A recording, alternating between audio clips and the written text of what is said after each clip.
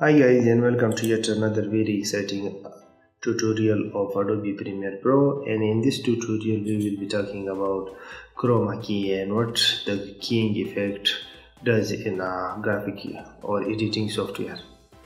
If you've seen any movie or television lately or you have seen it in the past few 20 or so years you come across chroma keying technique definitely chroma keying uh, technique is actually the technique when people uh, when they shoot in the studio footage of people flying or big explosion and stuff going on in front of a green screen or a blue screen or whatever screen they use they prefer and then put that footage of that person inside an alien planet or spaceship or they are fighting with robots and stuff like that which is computer computer generated graphics uh, cgis you know.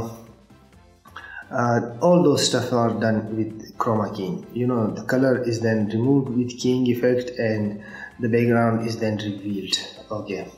Uh, the same thing is applied in the news uh, reporting when uh, people stand in front of these uh, green screens and blue screens and then they perform their you know and gestures in front uh, and in the background the map of the world is shown and different graphics are shown. Weather reports are most of the time um, almost all of the time has been generated like this you know. So there are a lot of other things you know. You can put your footage or key out if you have a good uh, uh, created a good footage of yourself. You know you have been flying around. You can key out the background or the wall or the color that you have used and put yourself into blockbuster movies. Of course there is a tutorial about this uh, in my youtube channel how you can put yourself in movies and stuff. Uh, you can check that out for that thing uh, it's done in after effects but this one is uh, uh, uh but this technique can also be done in premiere pro. Um, the technique that is done in after effects is a little bit more complex and requires a little bit more expertise but this one is really simple. The one they've given in premiere pro and today we will learn how to use it. I'm gonna key out this red area for example you do not like this red area and you want the background to show through it or you have created a color matte which you can of course create in here that we have talked about in the past videos. It gives you a good background to work with. Uh, suppose our background is blue and you want this color to be changed to blue so you can color it out or remove it or you just want it to be transparent and want the background or the underneath photograph or video footage to show up. So you can do that. So let's uh, get started. Uh, to key out this red color you have to go to effects and write in here ultra key.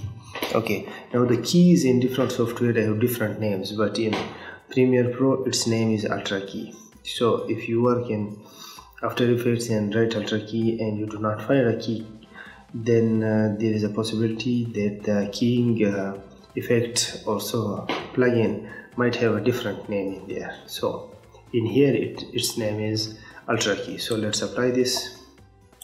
Okay. As you apply it for the first time it does not do anything. Okay.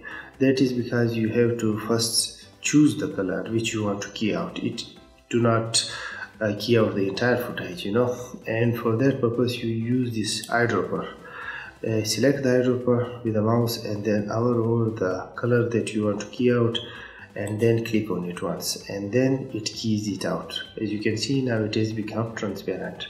You are not limited to one solid color. You can do it with a lot of colors. But these colors you know which have some gray and some black and some mixing of other colors you know keying of these are possible but it needs a little bit more work to you know clear them up okay first of all let's see uh, full screen this and see how our keying has happened. Our key is happened very um, precisely and we we do not see any red or there is no patches of anything else in here. So it's a very good key. But if it is not there are parameters here given you know these sliders. There is no perfect way to judge which key or which parameter will work for your footage but you can uh, use these sliders up and down you know to left and right till it matches or keys your footage clearly out. Matte generation and matte cleanup is are the ones that mostly people use. If there is some key or color that you key out is showing around the edges then this choke area is the best one choke parameter is the best parameter to use to clean that up and then once you use some choke or given it some choke then soften the choke with a soften parameter. You know all these things. Since we do not need it our key is already very uh, you know clear.